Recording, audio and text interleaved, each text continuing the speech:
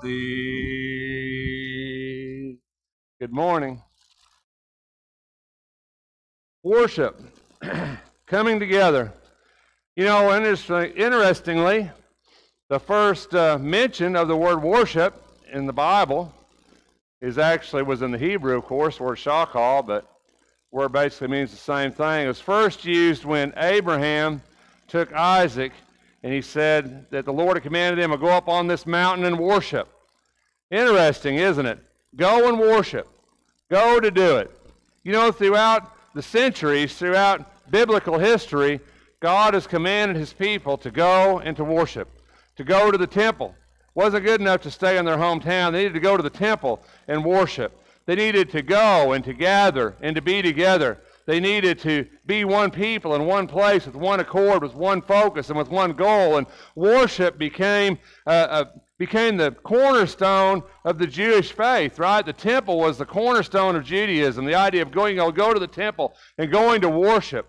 That became a, a huge thing. And then when the Israelites were carried off into Babylonian captivity in 586 BC, or Jerusalem was taken, and Judah was carried off into captivity, then the Jews began to do synagogue worship, where they had places in, in these towns where Jesus would go into the synagogues in Galilee. But that didn't exist until Babylonian captivity.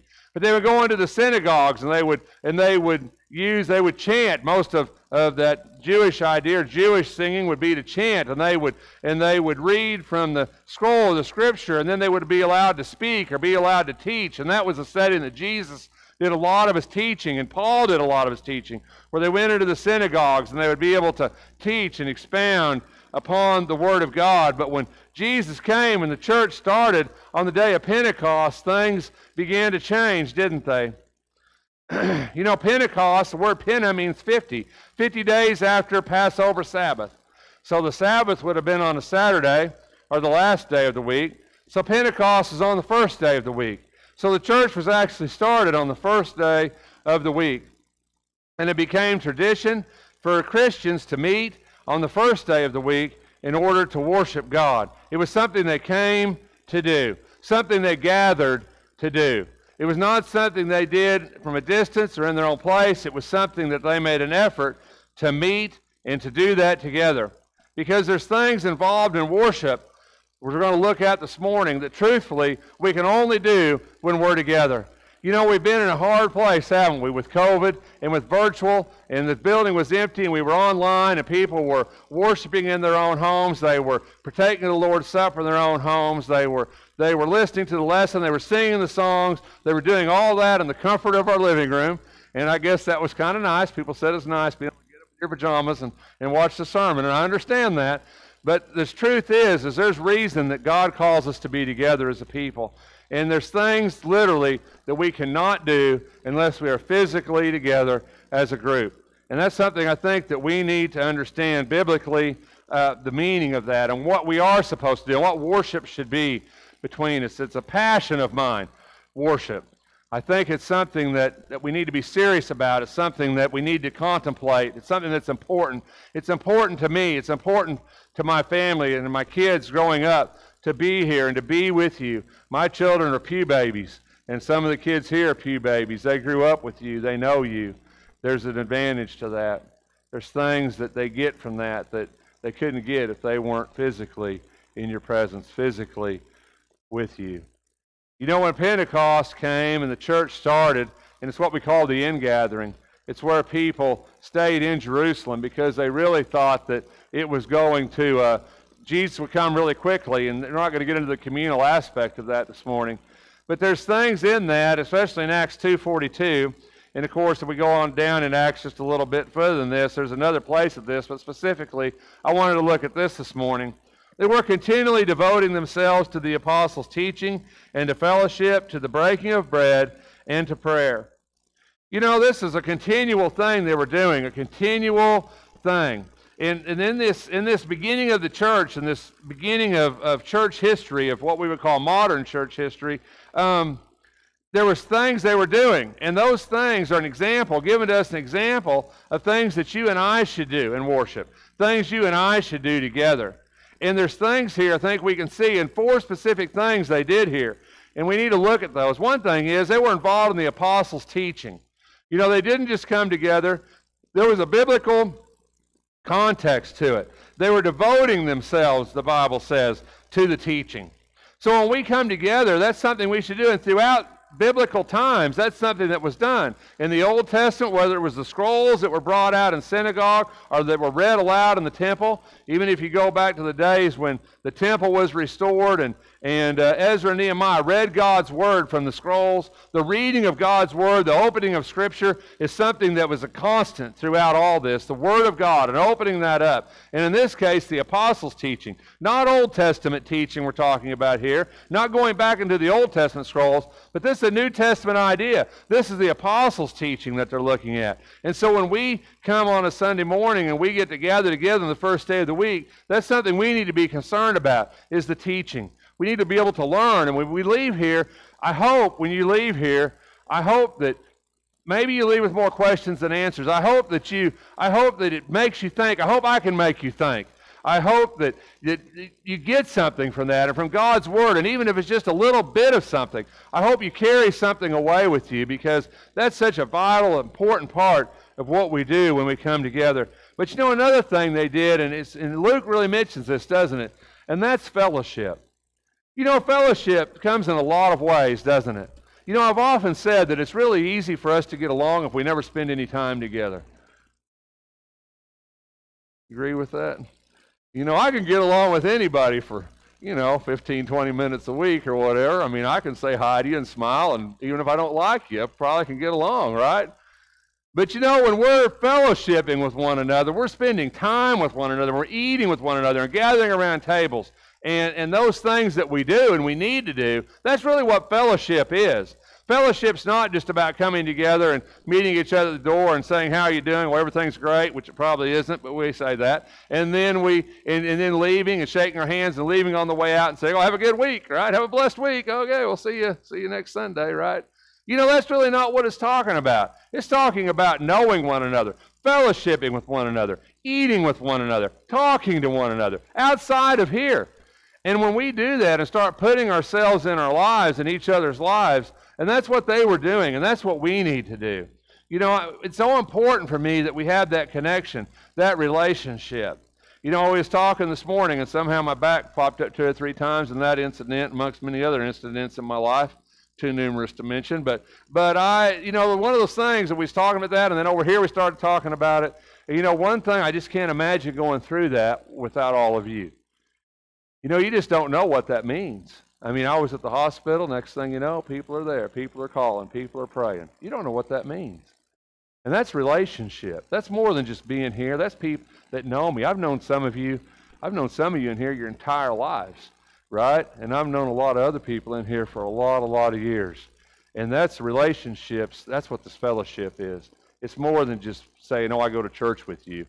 It's more than that. It's about saying, yeah, I know your children, and I know your mother's having health issues, and I know this is going on in your life. That's what fellowship is. And that's what this is about, and that's what they were about, and that's what we need to be about. But in Acts 2.42, it says there, and interestingly, and I guess maybe this doesn't mean anything unless you kind of look at Greek a little bit, but interestingly in the Greek, all these things have a definite article, and that really means a lot in the Greek. The word "o" oh in the definite article, or the is what we say. And all of these things that they do, if you really read that, they all have a definite article in front of them. They were continually devoting themselves to the apostles' teaching, to the fellowship, not to fellowship, interestingly, but to the fellowship and to the into the breaking of the bread. And that's important because here in this situation, where later on it says they were taking their meals together with gladness if you read on down a little bit in Acts. But here it says the breaking of the bread. And that's important because when we're talking about it here, we're talking about communion. We're talking about what we do on Sunday morning. So, an integral part of their worship from the very beginning, Jesus instituted that, right? But a very integral part of their worship from the very beginning was the taking of the bread, the taking of the Lord's Supper. That was important to them right from the very beginning. That's something that started at Pentecost. That's something that started early on. It is something that they included within their love feast, and we'll talk about that a little bit later on. And the other thing is, they devoted themselves to prayer. They devoted themselves to prayer. You know, so those four things are right there in the beginning of this of this text and right in the beginning of the church, the beginning of what we would call the New Testament church. We talk about restoring New Testament Christianity. There's four things here that we see. One is they devoted themselves to the teaching of God's word, to the fellowship with one another. We can't have fellowship if we're not together. It's just really, really hard to do. I guess we could Zoom now. We, I guess they call that, right, Zoom, or what do they call that? Microsoft Teams. But I don't think it's the same thing. You can't fellowship unless you're together. And then they broke the bread together and they prayed together. So there's a lot of things that were going on here early on in the church. But if we move past this a little bit, there's other things that we do in worship.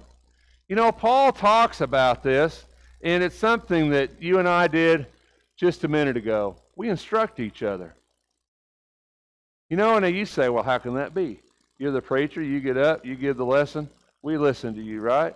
But the truth is, when you come in here on a Sunday morning, we all teach each other. That's what Paul says. You listen to the words of the songs we sang this morning. You know what Paul says about that? Paul says that we, I will tell you, Paul says we speak to one another in psalms, hymns, and spiritual songs, singing and making melody with your heart to the Lord. You know, when you sing here on a Sunday morning, you're not just singing to God or singing to the front. We're singing to one another. We forget that sometimes. We're singing to each other. There's messages in those songs, there's truth in those songs. Off we come together, off we sing and pray. Right? You know, there's truth. We're t- talking to one another, teaching each other. Matter of fact, Paul says in Colossians 3:16, he says, "Let the word of Christ dwell with richly dwell within you with all wisdom, teaching and admonishing one another with psalms and hymns and spiritual songs, singing with thankfulness in your hearts to God." You know, it's not possible for us to sing to one another when we're not together, is it? So there's certain aspects of what we do in worship that can only be done when we meet, when we're together, when we're in one place with one accord. You know, another thing we do in worship, but the reason I bring this passage up is not necessarily because I think it's a good passage on giving. Matter of fact, I think it's kind of a misused passage on giving, just between me and you, because this is for a specific gift for the church in Jerusalem that Paul was talking about. But the reason I bring this passage up is because it tells when they were coming together. It says, On the first day of each week, each one of you is to put aside and save as he may prosper, so that no collections be made when I come. On the first day of the week. You know, so when we come together, it's not just about how we come together, it's about when we come together, what we do when we're together, what's on our hearts when we're together, how we leave each other when we're together. There's a lot here with worship. The very word worship comes from the Greek word proskuneo. It means to prostrate yourself before God, literally to come and bet on your face, bow on your face before the Lord, is what it means. We come here with a humble heart and a humble spirit and a contrite heart, you might say, and a heart that's ready to absorb God's word and to listen and to be with one another and admonish one another and talk to one another. And we should leave here lifted up and better than we were when we came. We should leave here better because that's what worship is about. But it's about God. You know, unfortunately, in our society, I see more and more churches, and I've had conversations with a lot of people who, who do who do music, the guy specifically that I'm friends with that does music ministry in all kinds of big churches. And, and me and him had some really good conversations. And you, you know what he told me? He says, Christianity in America, not talking necessarily about Church of Christ, this is cross denominations. But he told me, he says, this is a guy who's been in ministry for a lot of years. He told me, he says, Christianity in America is no longer about worship.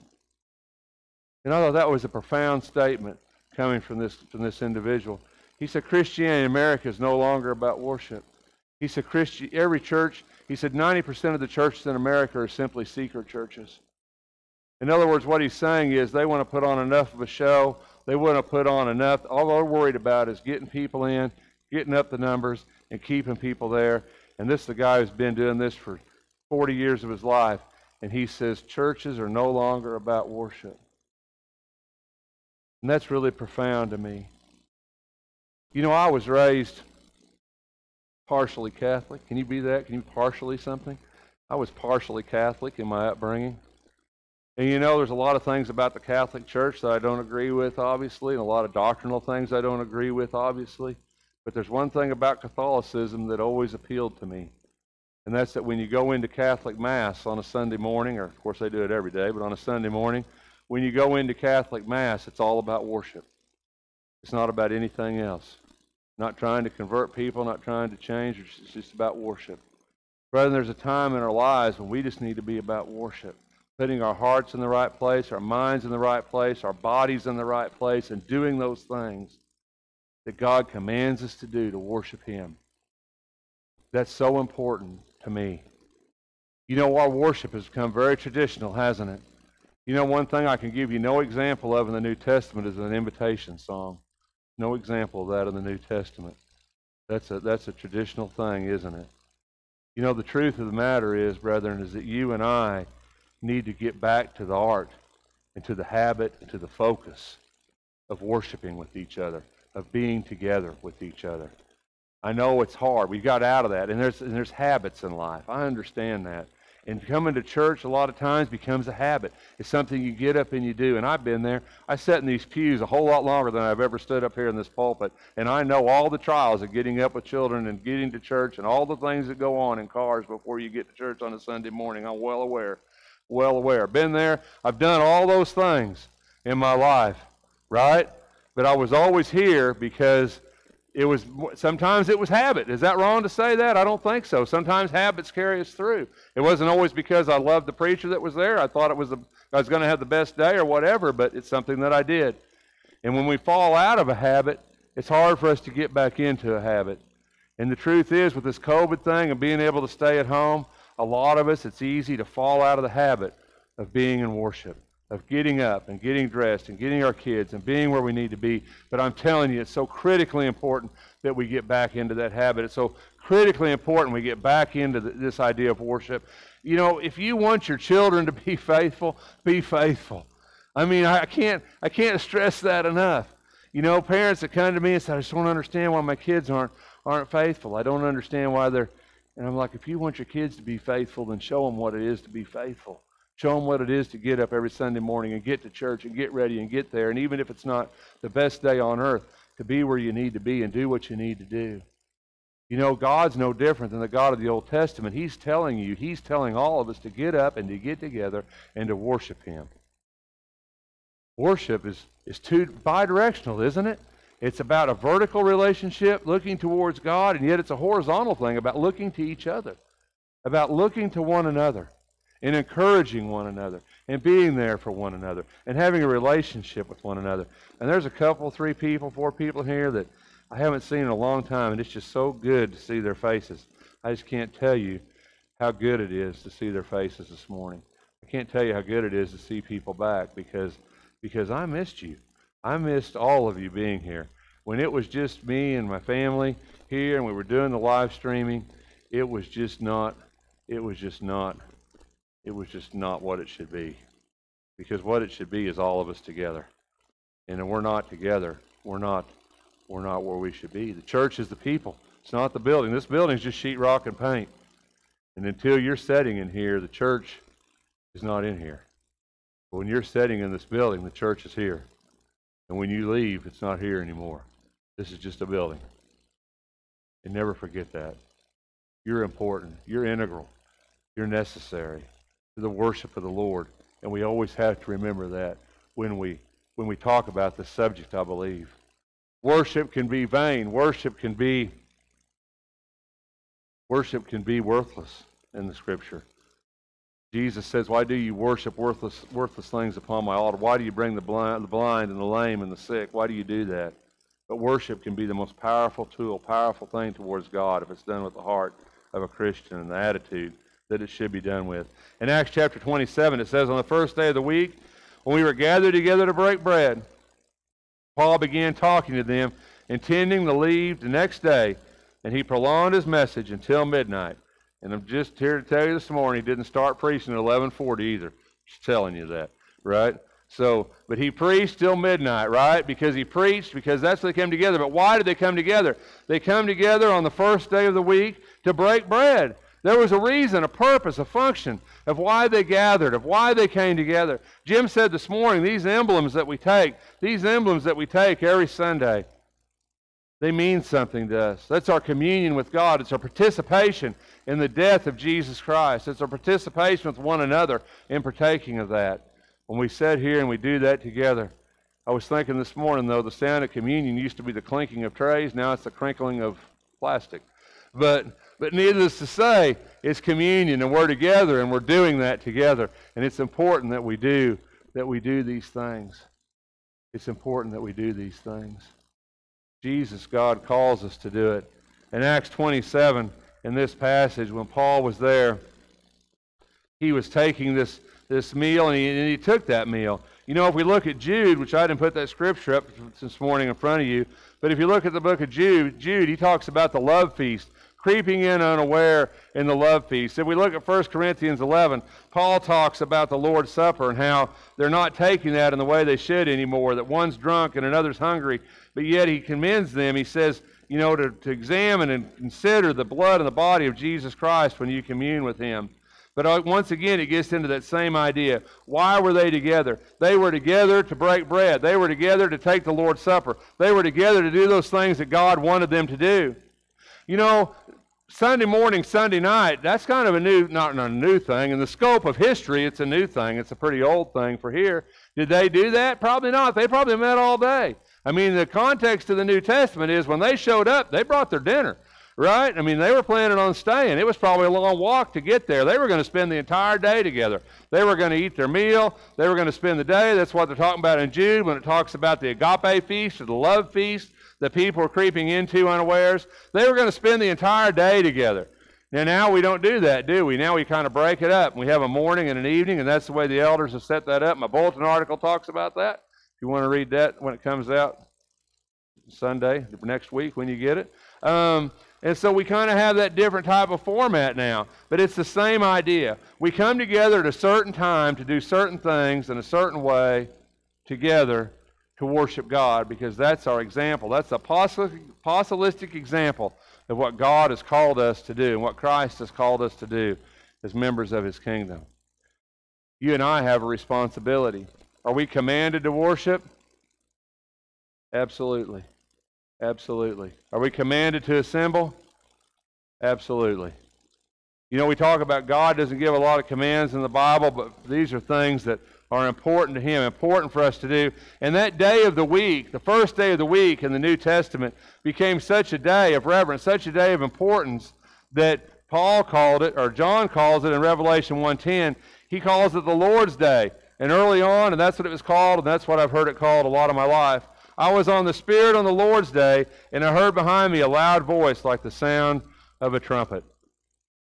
That day becomes so important that it was the Lord. Is it the Sabbath? No, it's not. The Sabbath is on Saturday. The Sabbath is a Jewish day. Is it a day of Christian worship, the first day of the week? Absolutely. My whole life I was taught it was a Christian Sabbath. I don't really believe that's a true way. My whole life I was taught, you know, we need to rest because it's Sunday. I don't necessarily know that that's true. It's not the Christian Sabbath. It's unique. And that's one reason I think early Christians worshiped on the first day of the week because they didn't want it to be confused. They didn't want it to be the Sabbath. They wanted it to be the day that the church started, the day of Pentecost, the day that Jesus Christ rose from the grave, the first day of the week. The first day of the week is the day that became important to them, and traditionally and historically, and by apostolic example. We know they came together on the first day of the week. And that's why we meet on the first day of the week. That's why we do the things that we do on the first day of the week. That's why we come together and we sing and we pray and we teach and we have fellowship with one another. And we do all those things that are commanded by us to do. People always say, when does people are, the world kind of has this view, right? And I hear this from people. I've worked I've worked on a lot of trucks in my life, know a lot of truck drivers, done that my whole life. And I know a lot of truck drivers that are pretty religious guys. And I've had a, several of them truck drivers over the years tell me, they say, I just worship in my truck going down the road. I don't need anybody. Just worship in my truck going down the road. And I say, Well, I think you can worship by yourself.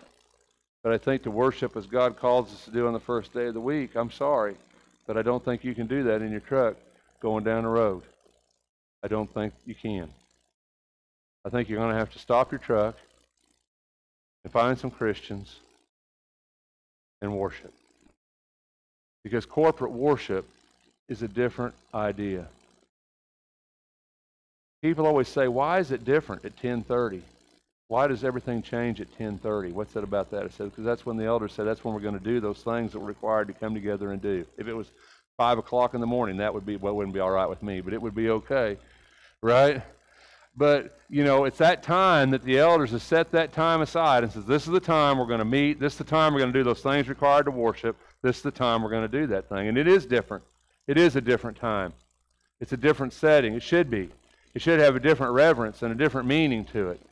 Because the truth is, is that that is what God calls us to do. The world often confuses that. Many times today we hear the words praise and worship used interchangeably, and they're not interchangeable. They're never used together in the Scripture. It's a different idea. Two different words in the Greek.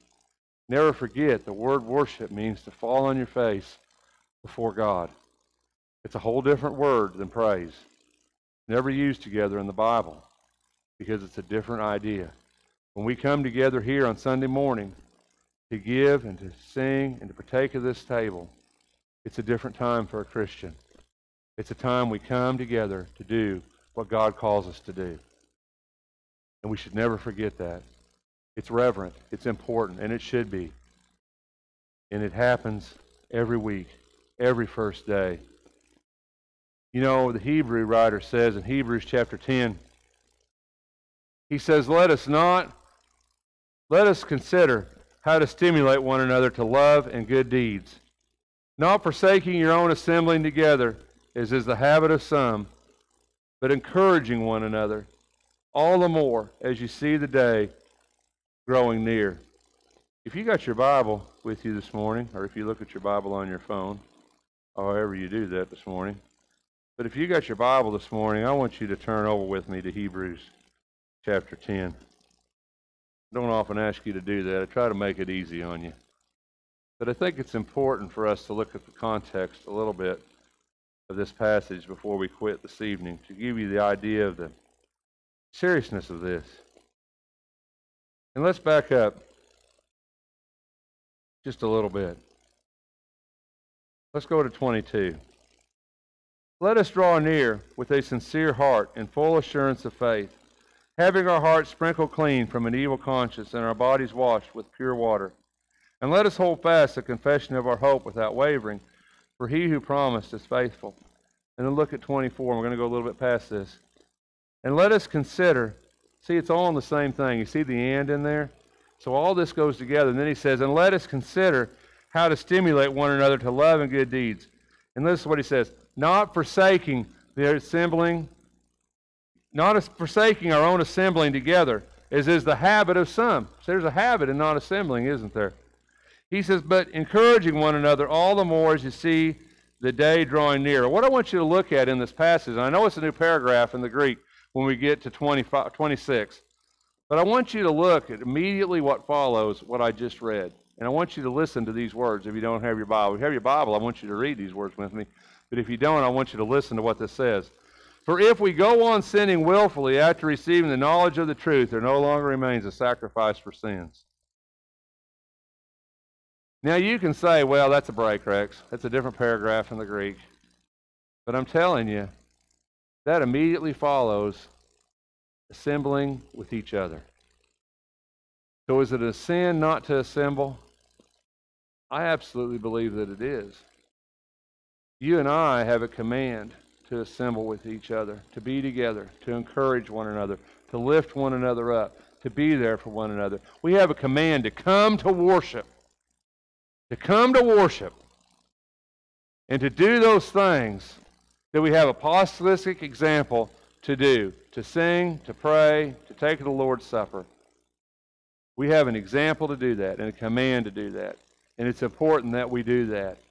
And I know that we've had extenuating circumstances. I understand that. And I understand that that hasn't been possible to do I understand that, and I'm sympathetic to that. I am. I do understand that. So don't take it that I'm getting on people for not being here when you couldn't be here. I'm not doing that. Please don't take this wrong. I'm not doing that respect at all. So don't take this wrong. But what I'm telling you is it's time to be back. That's what I'm telling you. It's time to be back together. It's time to make the effort. It's time to be here. The vaccine's out. If you can get it, if you want it, it's time to be back together. And brethren, we have a command to do that. And we can do so much together that we can't do apart. It's so encouraging for me to be here with you. It's so encouraging for me to be here with people that I love and care about and people that I want to go to heaven with. And I hope it is for you too. You know, when I look at this auditorium and I look at all of you in here, I just can't imagine my life without you. This is just as important to me as spending time with my own family. Sometimes more important, probably. It really is. This is this is our family. This is my family. My family's here. Praise the Lord. But you're my family. You're my brothers. You're my sisters. I care about you. I desire the best for you. And more than anything, one day a week, at least one day a week. I like to do it three days a week with you, but I'll take what I can get. At least one day a week, I want to sit here with you together, and I want to take the Lord's Supper together, and I want to hear our voices blending together in praise and worship to Jesus Christ. That's important to me. And I hope that it's important to you. If you need the prayers of this congregation, if we can assist you in any way this morning, would you let it be known as we stand?